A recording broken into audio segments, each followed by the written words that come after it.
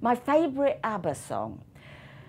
That's difficult. I think when we were filming, I loved Voulez-Vous. It's so dramatic. It's fabulous to dance to. It's just got real. Um, what's the word? I, I, it, real. It's got a fabulous energy to it. I just loved it, and we spent a week filming that number, and I could have gone on and on. It was a massive number, but you know, with loads of people in it and, and dialogue in between, so that's why it took so long. And there's lots of dancing and different kinds of dancing in it. So, but it, it was just wonderful. I could have gone on and on doing it.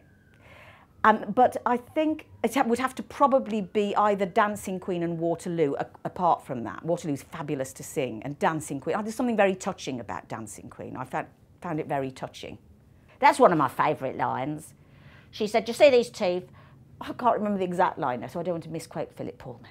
But um, uh, she says something like, no, uh, they was going in his, they, was my husband's and they was in his coffin, go, they was just about to go in the ground and I pulled him, I had him out. Yeah, uh, uh, he died of cholera or something terrible, didn't he? I can't remember. And she thought of these things, they're a lot slightly ill-fitting. I love playing her. There's a sketch where there's a woman queuing in a, in a, in a sort of cafeteria with a tray and um, she, she, says, one woman was saying, oh, that looks at the prawns. She said, I never touch prawns. Do you know they hang around sewage outlet pipes, treading water with their mouths open? Never touch them.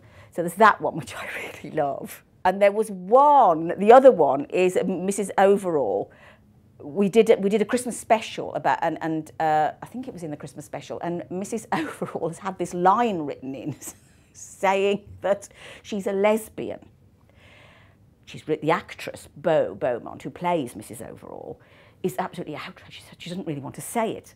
So when it comes up in the in the actual scene, she said, "I oh, I never told you, but I'm a, a, a Lebanese." and then she said, "Well, it's got the same letters."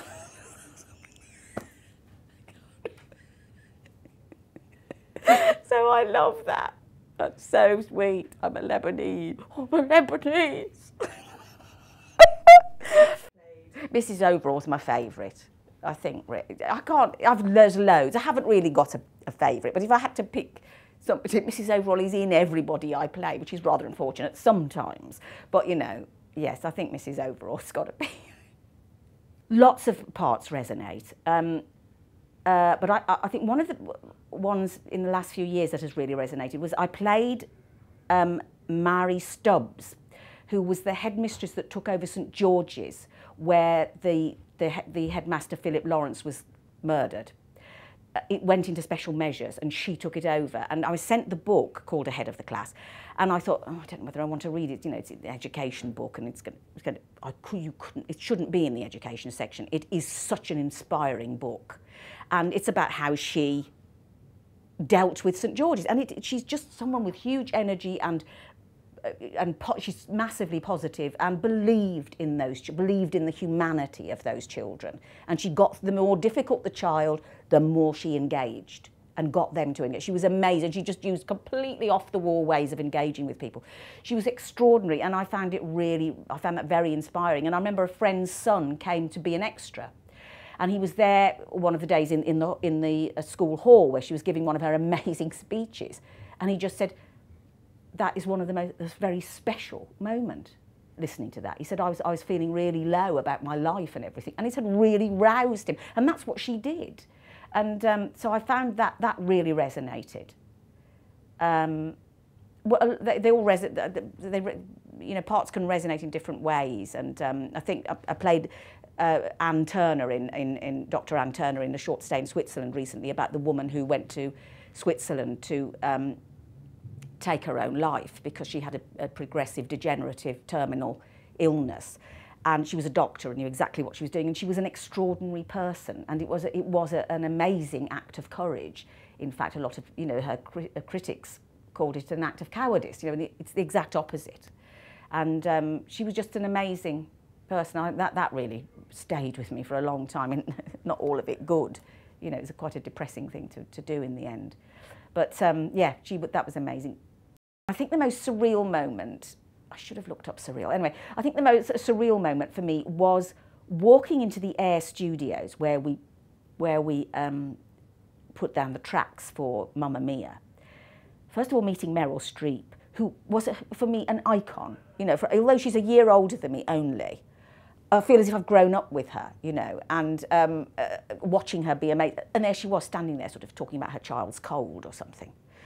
And then the next minute, there were the boys from ABBA, Benny and Bjorn. They were there. So I was sort of like this. And I'll tell you, within 10 minutes, we are round a grand piano with Benny playing Dancing Queen, and the three of us, Christine Baranski, Meryl Streep, and myself, are all singing Dancing Queen round. It. Well, that was very, for me very surreal, especially as I was probably singing out of tune at that moment.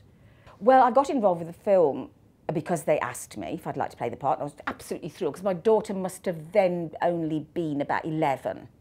So she was just the right, and I had read one of the books because I think only one was out at that time, possibly. I think only one was out when when they would get back to make the film, and um, my daughter was, of course, just of the, of the age, with, with each one as it's coming. She's the age of uh, Harry, so they were all going mad about it at her school, and so was she. So I had to read it. So I read the first one then, and um, before I didn't know anything about the film happening when I'd read the book. I read the book because of all her and Maisie and her friends all going on about it, you know.